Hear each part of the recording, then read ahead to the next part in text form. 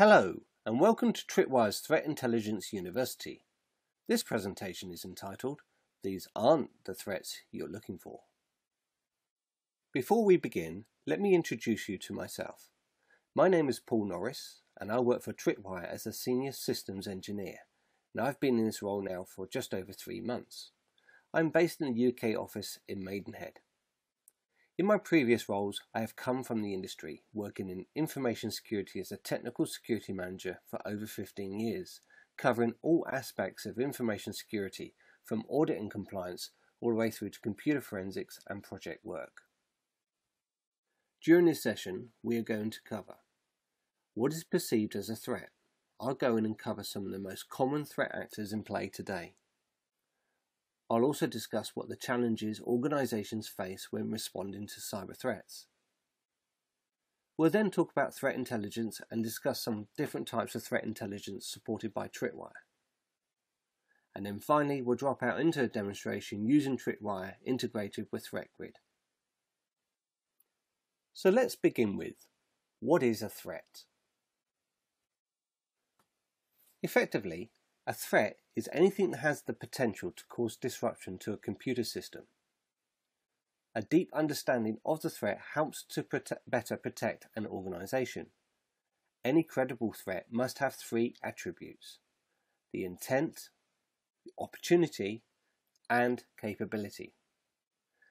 The intent would depend on the type of actor. For example, hacktivists may seek to disrupt a web service in order to send politically motivated message. An organized crime group may pursue credit card details for financial gain. Or a foreign intelligence service may seek to acquire intellectual property in order to strengthen its economy. The opportunity defines the availability of an entity for exploration. For example, an actor may identify a vulnerable server on a victim network, or use an upcoming event to increase the likelihood of an employee opening a spear phishing email. The capability describes the resources available to an actor in order to achieve their goal. These resources include the availability of finances, skill, and people. Whilst there may be many threat actors with the intent to attack, Without the appropriate level of capability and the right opportunity, they will be unlikely to succeed. In most cases, threats are intentional. Some common sources of threats are from state-sponsored attacks. Espionage between nation states is hardly new, but in the last few decades the world has moved into a whole new realm of spying, cyber espionage. This new form of espionage is affecting the economic and political relationships between nation states, as well as changing the shape of modern warfare. Therefore, in spite of the advantages brought by modern technology, there is a whole new set of problems as well. An increasing number of states see the benefit of conducting cyber espionage to acquire highly valuable foreign intelligence and intellectual property, often with few repercussions. Those nations who do not have the technical capability can now purchase commercial offensive services. Organised crime. It is now claimed that organised cybercrime groups have now reached the level of sophistication where their technical capabilities are on par with those of a nation state.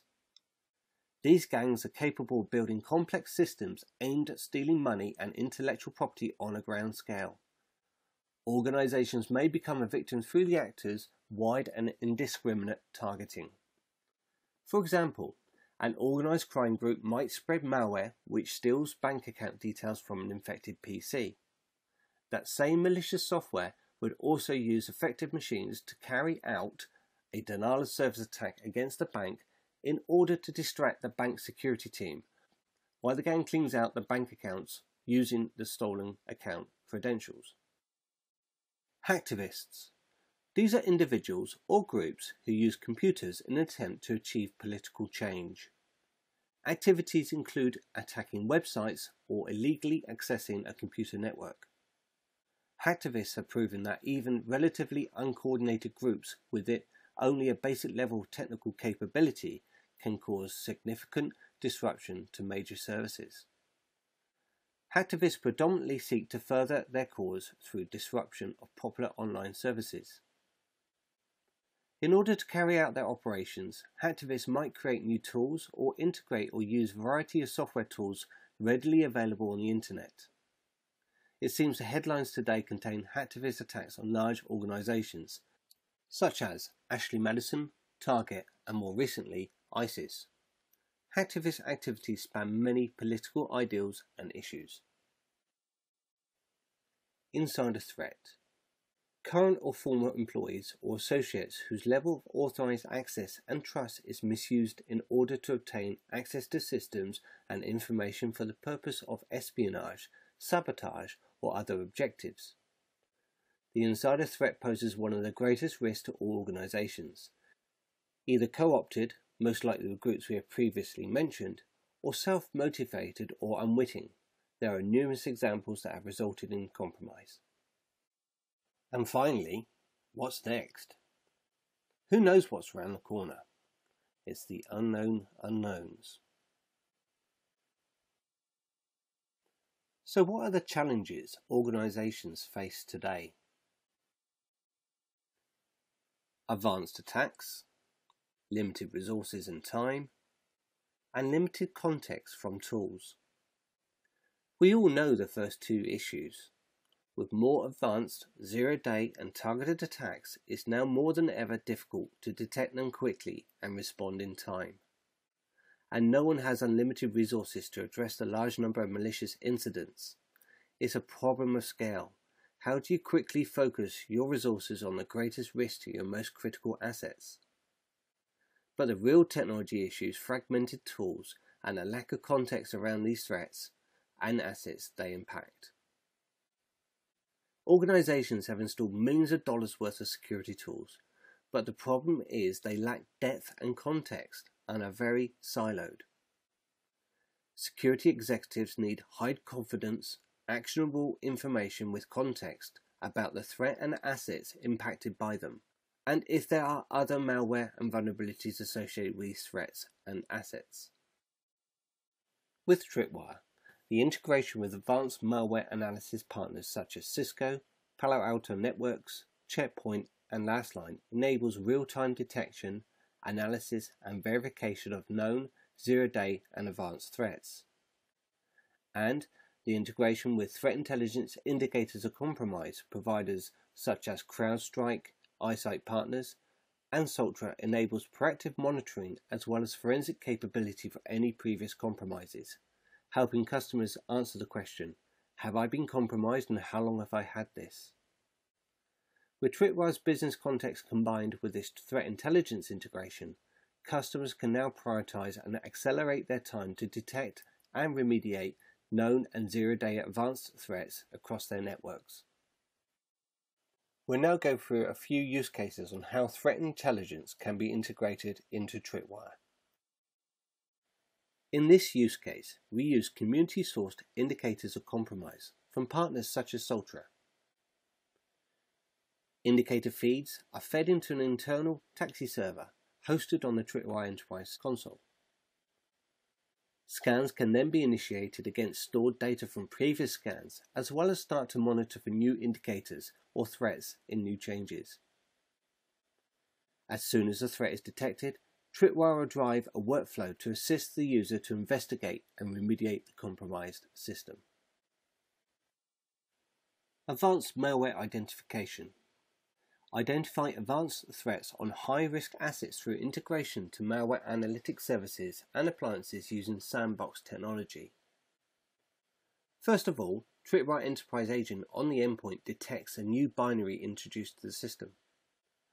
Tripwire Enterprise will then validate the hash and then send the file or hash to a cloud threat intelligence provider, such as Palo Alto Networks, ThreatCloud, Lastline, Cisco ThreatGrid, or Bluecoat. The provider will then analyze the file or hash in their appliance or sandbox environment, and if a new threat is detected, return valuable metadata back to Tripwire Enterprise. Once the intelligence is received, Tripwire Enterprise can then drive a workflow, and one of those may be to update threat prevention rules or aid other technologies to conduct real-time blocking of these infections on the endpoint. We are now going to demonstrate how Tripwire Enterprise can integrate with cloud-based threat intelligence providers. In this demonstration, we are going to conduct each step manually so you can see the process Tripwire Enterprise takes to validate potential threats. It's important to note this whole process can be fully automated. In the demo, we are going to introduce the environment and then download some live malware onto a Windows 7 endpoint. Please note, this demonstration has been conducted in an isolated environment and Tripwire do not recommend you try this at home. We are then going to instruct Tripwire to scan the endpoint for any new executables. Once we have detected the new files, we are going to manually run an action to check to see if the files have been seen before in our local database. We are then going to add the files to a queue that will later be submitted to the threat provider for analysis. We are then going to add the files to a queue that will later be submitted to the threat provider for analysis. For this demo, we are adding in this step, but this can be configured to submit the file to the provider in real time, removing the requirement to queue the process. We will then execute a script in Tripwire Enterprise to send the files to Cisco Threat Grid for analysis. Once analyzed, we will then show the files as a threat within Tripwire Enterprise along with the report information from Cisco. Okay, let's begin the demo. Let's first of all log into our demonstration machine. Let's take us to our nodes page and I want to highlight which machine we've got connected to Tripwire Enterprise at the moment. This is currently a Windows 7 machine with this IP address here. Just flick over to this machine now. You can see I've got a folder on there called ccolon backslash threat intelligence with nothing in it. In this demonstration, we'll be downloading some malware from a malwaretrafficanalysis.net.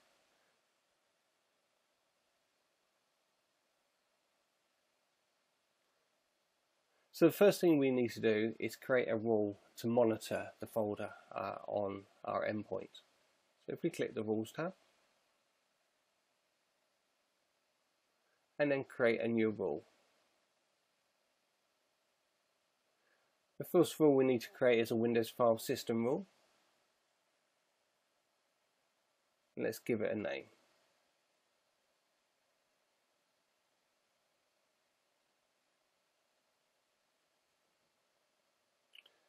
We need to now give it a start point for which we want to start monitoring from. So this instance, we're going to monitor that threat intelligence folder I created on the endpoint. We also want to recurse into the directories here, so we're going to leave that checked. And now we need to define a criteria. In this instance, we want to make sure we're looking at content and permissions, and we ensure that the MD5 hash value is checked, because that is the value we're going to be verifying the files against. And finally, we also want to only look at executables in this demonstration. So I'm going to put as an include filter star.exe. When, for this demonstration, we're not going to do any real-time monitoring. Everything we're going to do is going to be manually done. So we're going to leave that unchecked for now. Let's go ahead and finish this wizard.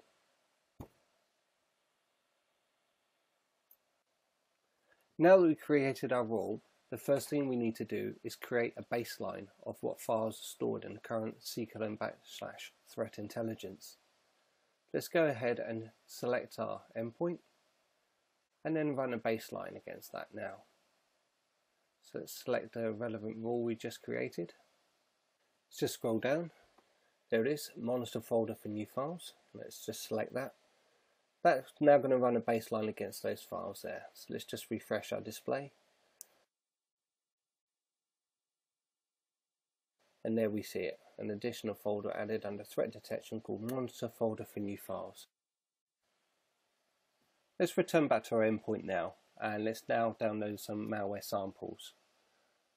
This is a sandboxed environment so I've taken precautions here to prevent any of this malware being exposed.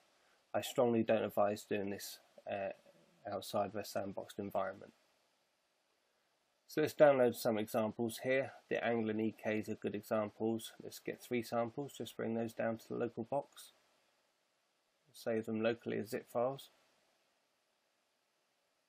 Do one more. There we go, save that forward.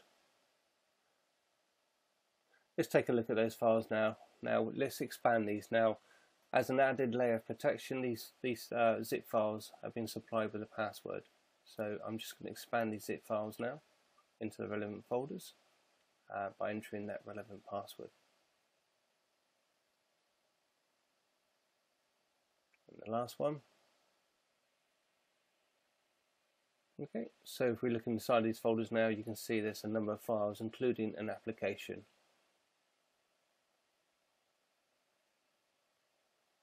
Let's look at the last one. There's an application there as well. Now we've made changes to our monitor folder, we need to instruct Tripwire to run a check against that folder to see if there's any changes. Normally we'd have this automated, but for the demo today we're doing everything manually.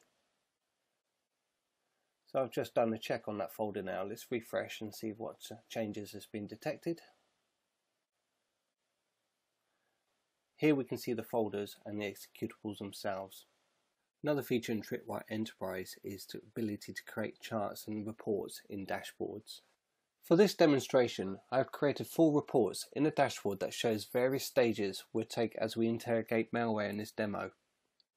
The first report we will look at more closely is the Executables Discovered report. This is showing that there are three files identified. The other three reports will go into more detail later in the demo. Let's click down and take a closer look at what those files are.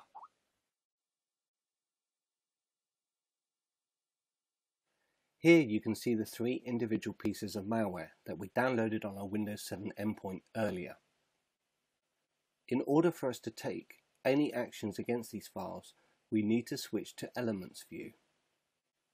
From here, we can select the three files, and then we can choose an action we would like to run against these. The first action we are going to do is run a quick threat check. This will check the MD5 hashes of these files and the local cache database we have collated from ThreatGrid. If there are any matches, the relevant metadata will be added to the files and flag the files as malicious.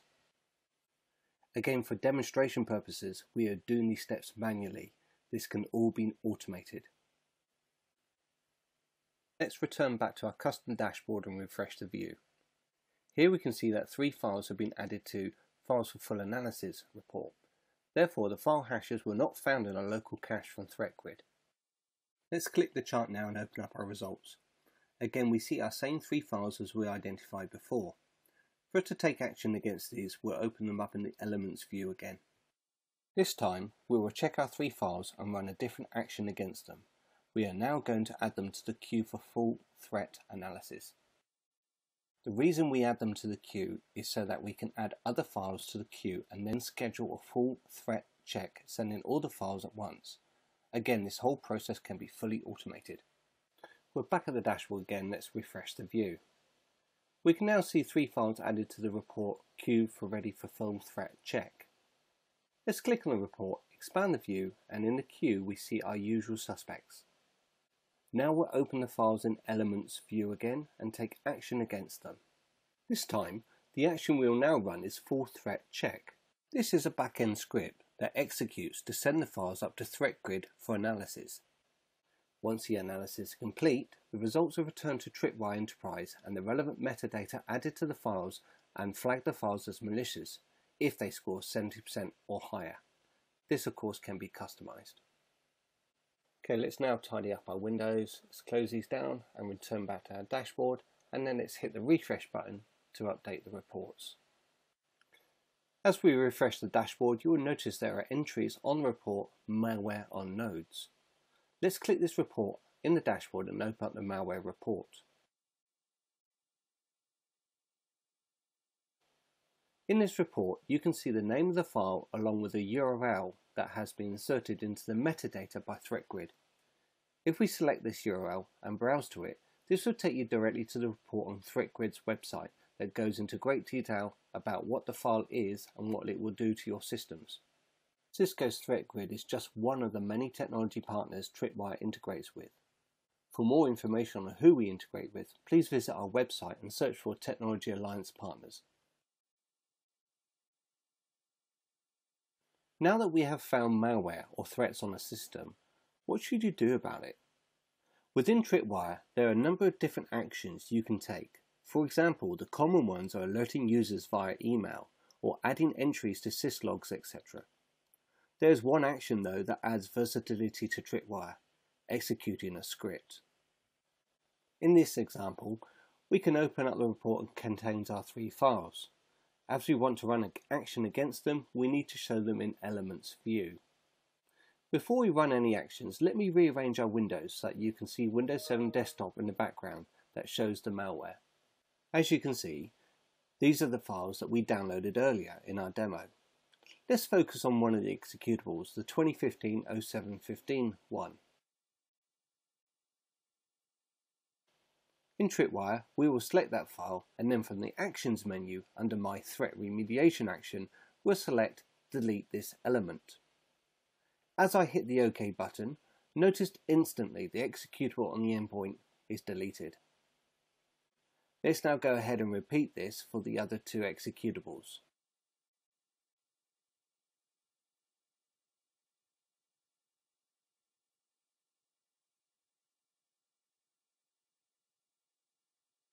As I hit the OK button, the files are deleted. Let's verify that now.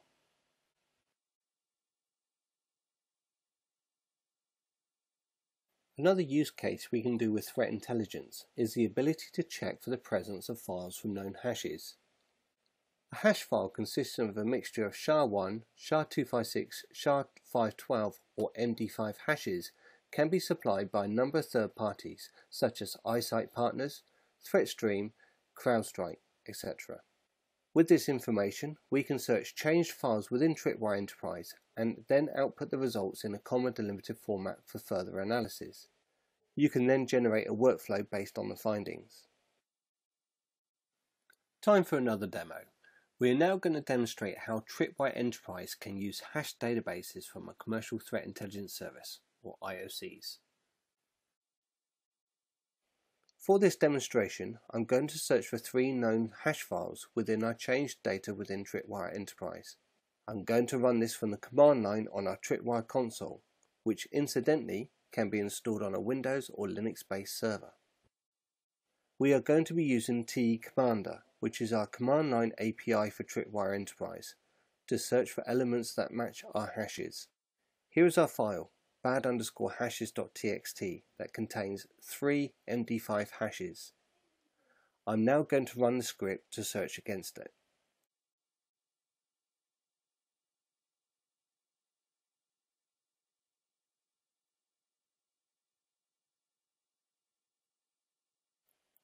The results are instant. You can see the column titles along with detailed information output to the screen in common delimited format. From here you could also redirect the output to a CSV file.